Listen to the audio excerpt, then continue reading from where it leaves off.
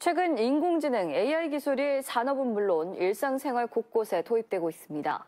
AI 기술 개발과 연구를 중점적으로 수행할 광주 인공지능 창업단지 조성 논의가 본격화됐습니다. 보도에 김재현 기자입니다.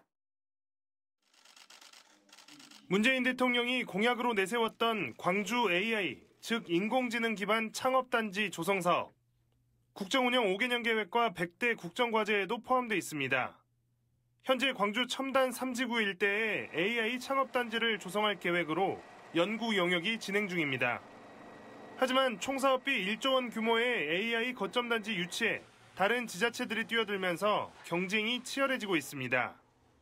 이 인공지능 산업을 선점해 간다고 하는 것은 모든 산업의 기초를 우리 지역으로 가져온다라고 볼 수 있어서 지역 경제에 어마어마한 어떤 큰 경제적인 효과가 기대가 됩니다. 무엇보다 에너지밸리 등 지역의 주력 산업과 연계한 인공지능 기술 개발을 통해 시너지 효과를 노리는 전략이 필요하다는 지적입니다.